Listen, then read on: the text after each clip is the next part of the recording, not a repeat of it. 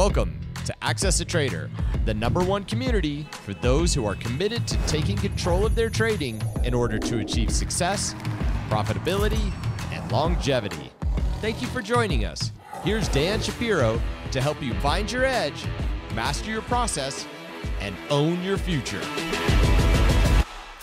Hey guys, good afternoon, everybody. Welcome to uh, another edition of uh, the AccessTrader.com, well, nightly update, but it's in the afternoon. Uh, it is around uh, one o'clock Eastern time. Uh, usually, obviously, I do the updates uh, after the close, after five o'clock. today, it's around one o'clock Eastern time. Um, I got a crazy busy day. I've, my my son has opening day for his high school basketball season tonight. And then uh, after I come back home, change, shower, all that stuff, then I have to drive to Manhattan. I have a holiday party to do a bunch of grown up things, which I never want to do, but I have to do sometimes. So this is the only opportunity that uh, I have to kind of record uh, the video. Uh, there was no video last night. Um, as you can imagine, how many times can I talk about in the last three weeks? The market is strong, taking out ranges, you know, buy strong stocks into rising support, right? I mean, it's like every single day so I figured after yesterday's move, um, you know, give myself a day off, kind of clear my head. Uh, yesterday, again, if anybody who's uh, kind of living under a rock, uh, you had Jay Powell coming out, FOMC, basically left rates unchanged, hinted about possibly cutting rates uh, three times uh, for 2024. We'll see. You know, we'll see if that uh, plays out to that degree. throughout the week, we had more data to kind of support his decision or his stance with the CPI, with the PPI, ABC, ESPN, ABCD, everything else in between, all those all those letters that everybody likes to talk about. Uh, but the most important thing is the market continues uh, to be super duper aggressive. Uh, Qs were, um, you know, were a magnet to 400. Uh, and, and, again, it really does show you how innocently uh, everything started. You know, once we reclaim, and this is kind of the the message going into 2024 um, this is kind of the, the, you know your your Bible, right? Anything above the 50 day moving average uh, is super bullish, right? Is absolutely super bullish. Uh, anything uh, below the 50 day moving average uh, is super bearish. And the point is, you don't need to guess. When you're above supply, uh, good things are going to happen. Uh, when you are below supply, not so much, right? And that's the most important part. right now, what you're looking at is the day, right? Is the is the trading day uh, market is taking uh, a little bit of a breath, a well deserved uh, breath, a little bit of timeout, and the most important part is even though uh, even though the Nasdaq is red in the day and stocks are a little taking uh, some profit taking, we had an incredible run, right? Um, and we, we've been talking about this for kind of a long time here. We don't know uh, what's going to happen for 2024. We don't know. Okay. 2023 uh, was an, an, unbelievable year for the Bulls. Uh, going into today, I think this is even real time. Uh, going into today, I think right now the Qs are up for the year. Uh, down a dollar today. They're up for the year 52%. Okay. So 52%, they're up for the year. Um, incredibly bullish action. 2022, we were down about 36% of the year or 32%. I don't remember what it was anymore.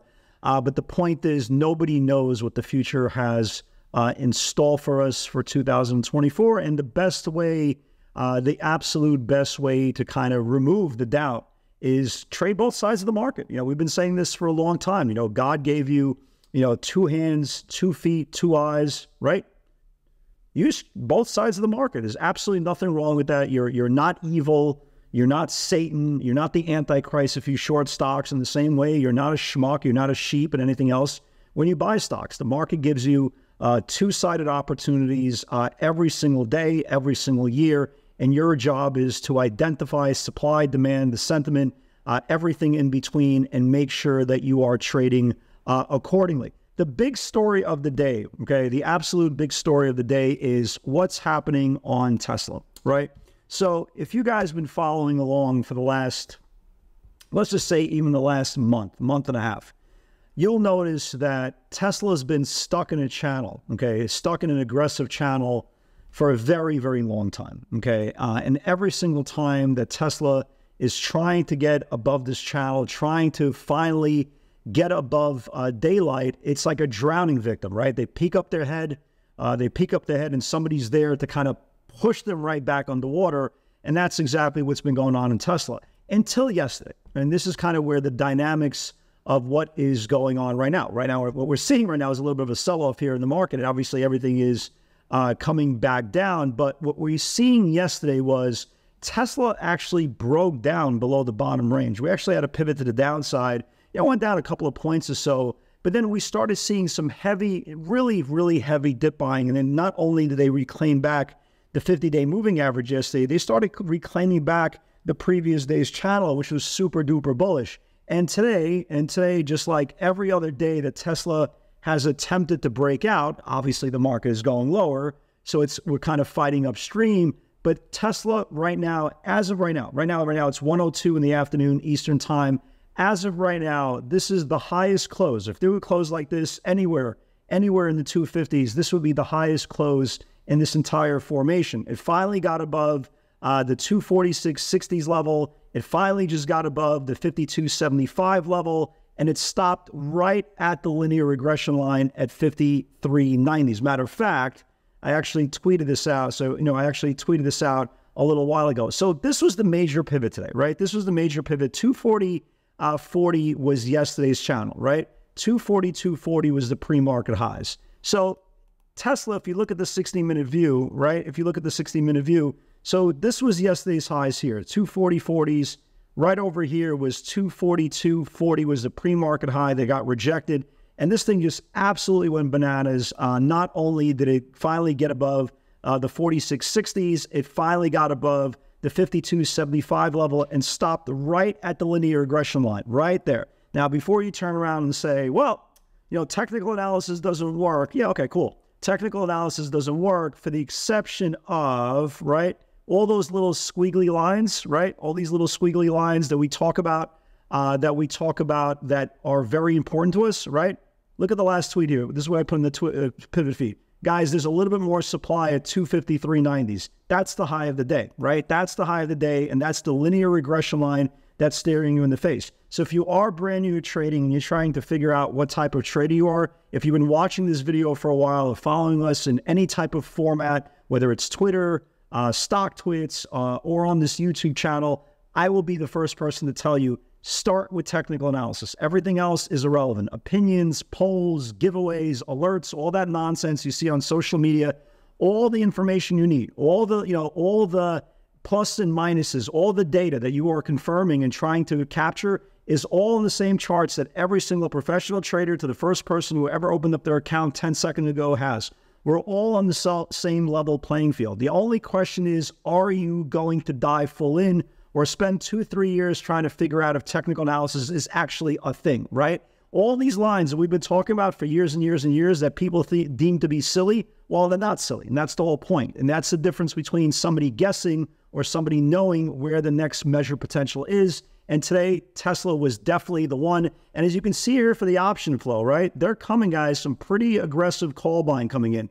Uh, we saw earlier they were coming in for the 255 weeklies, for the 260 weeklies. They started coming in for January 270 weeklies. So there's a lot of call buying coming in. As I'm talking right now, you can see here uh, the stock, you know, they're coming in right here for the 257 and a halfs that are expiring tomorrow. So ultimately, we are still in a great tape. The Bulls are getting an absolute incredible, uh, well deserved rest day.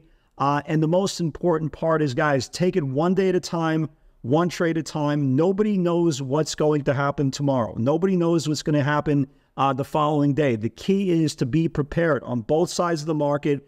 Uh, get away from all distractions, get away from social media, get away from anything that could clog your judgment. The charts are the charts, and two things are going to happen. They're either going to confirm or they're not. And it's your job to figure out where those supply zones are and make sure you are trading properly. So that's it, guys. That's a short little update. Market's still good. Let's see how the market closes. Again, as we see here, as we're as I'm still talking, you can see these 257.50 weekly call buyers uh, are still coming in uh, for tomorrow's expiration. Click it close anywhere in the 250s, folks. Anywhere in the 250s, and start getting above this 254 channel tomorrow. We could start filling in this whole gap, guys. There's no more supply all the way up to uh, to this 296 level. Obviously, won't get there in a straight line, but you have a lot of channels here. You have 257.50, uh, 257.60s, which is the October 18th highs, and this is why these guys are betting accordingly. Guys, have a great night. God bless. Let's see where this. Let's see where Tesla is by the time uh, you guys see this video. I'm going to try to get Kenyon to put this out uh, before uh, before the close, but if not, there's nothing I can do. I don't control that stuff. Anyway, guys, God bless. Have a great night, and I will see you all tomorrow. Take care.